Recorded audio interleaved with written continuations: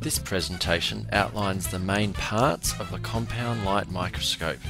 It also briefly describes the functions of these parts. So, let's begin.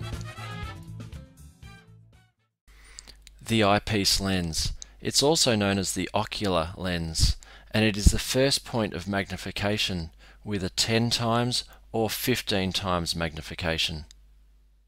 The barrel. It is also known as the body tube. The barrel connects the eyepiece lens to the objective lens, which we'll look at in a minute. The arm. The arm is like the backbone to the microscope.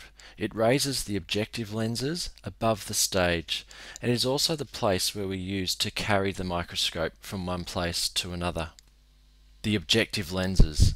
This is the second point of magnification. They revolve around on what is called the nose piece. There are usually four objective lenses, color-coded for easy recognition.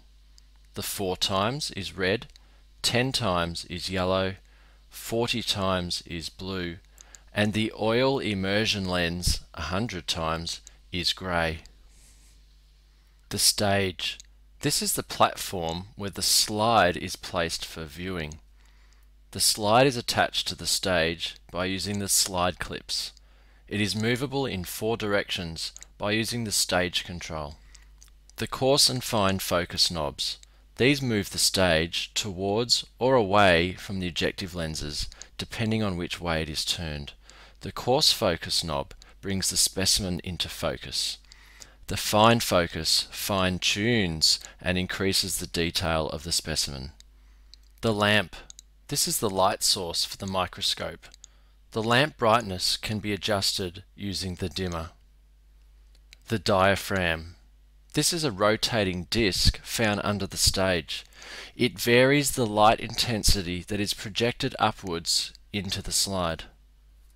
The base. This is the bottom of the microscope and is used for support. The base should also be used along with the arm when carrying the microscope. Now, Let's review all the parts at once.